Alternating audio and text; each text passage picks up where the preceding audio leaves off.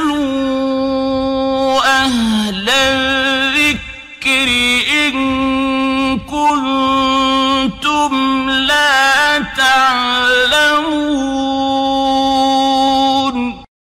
আলহামদুলিল্লাহ হাত বাঁধার স্থান সম্পর্কে প্রশ্ন আসছে যে এটা নাকি কোনো পূর্বেকার মহাদিসদের মাধ্যমে এটার সার্টিফাই নাই ব্যাপারটা যদিও বা অত ব্যাপক না, কিন্তু আছে।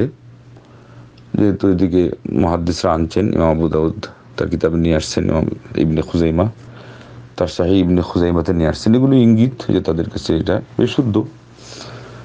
যেহেতু এটার ব্যাপারে এরকম কোনো মন্তব্য তার করেন নাই যেটা দুর্বল। হ্যাঁ তার বর্ণনা মোরসল বলা হয়েছে। মোরসলটা আলিমদের নিকটে, মতানক্যের ভিতরে। সে বিশুদ্ধ বিশুদ্ধ না, কিন্তু সে হুবহু বিশুদ্ধ না হওয়ার দিকটাই দুর, শক্তিশালী আমরা ধরে নিলাম। আবার এটাই শক্তিশালী মহাদিসদের নিকটে সেই হিসাবে। কিন্তু এটা আরও অন্যান্য সন্ন্যদে আসছে যেখানে মুরসল ছাড়া এসে গেছে। তো এই জন্যে সব মিলিয়ে যেটা রেজাল্ট দাঁড়ায়, এটা হলো অন্য জায়গায় হাত রাখার তুলনায় এটা বিশুদ্ধ। তো এই জন্য বিশুদ্ধ শব্দের দুইটা প্রয়োগ আছে মহাদিসদের নিকটে। একটা হলো যে, মুটির উপরে যেটা বিশুদ্ধ এবং সেখানে তারা বলে থাকেন যে এই হাদিসটা হলো এই অধ্যায়ে সর্বাপেক্ষা বিশুদ্ধ। এটা হলো ওই দিক থেকে, মুটির উপরে বিশুদ্ধ।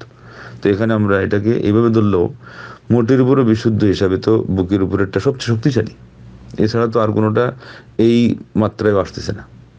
এই জন্যে আল্লামা হায়াত সিন্দি রাহিমহল্লা একটা বই লিখেছেন যে আউনুল গাফুর অথবা ফতহুল গাফুর এই শব্দে, ফি বদে ইয়েদাই সুদূর। বুকের উপরে হাত রাখার ব্যাপারে আল্লাহ রবুল আলমীর সাহায্য।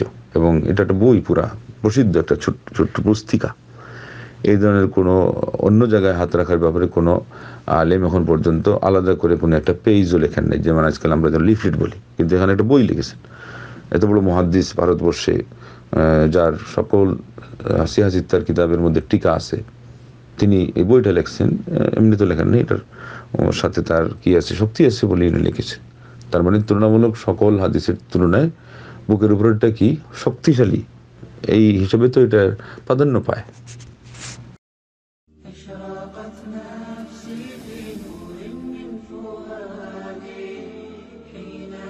رددت يا رب